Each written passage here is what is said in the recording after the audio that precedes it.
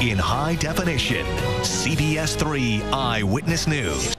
Schools in Pennsylvania are crunching the numbers following Governor Corbett's proposal to slash education funding.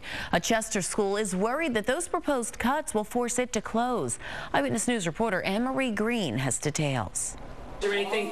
We're comparing one winter storm to another winter storm. Today, the sixth grade computer lab at Chester Community Charter School is learning about storms, all while a huge storm is brewing over the future of their school. Negative 8 times negative 3. It's a math equation with a lot of negatives and nothing positive. Chester Community Charter School educates 45% of all of Chester's public school students. Like all public charter schools in Pennsylvania, the Chester Community School is publicly funded, receiving money from the Chester Upland School School District. But last year, the district began to run out of money, and when the state refused to help, the district stopped paying Chester Community Charter.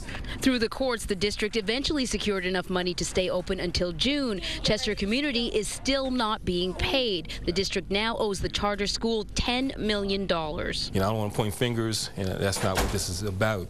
But management of, of finances is, is the utmost is very important. Something the school's CEO says they've done well with less money per student than the public public school district spends. And now, because the state and the district can't see eye to eye on funding, there's a possibility that the doors would have to be closed. So today, on the eve of a Harrisburg meeting with Chester school officials on the future of the charter school, parents gather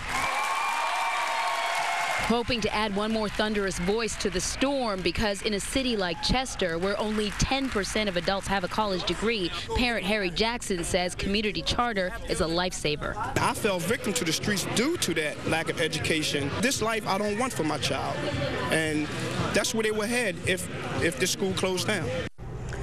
Well, tomorrow's meeting is really just to discuss ways in which the charter schools can be funded. At this point, no decisions have been made, and by March, if funding does not resume, the Chester Upland School District will owe the Chester Community Charter School about $13 million. Live from the SAT Center, I'm Anne-Marie Green, CBS 3 Eyewitness News. Thank you, Anne-Marie.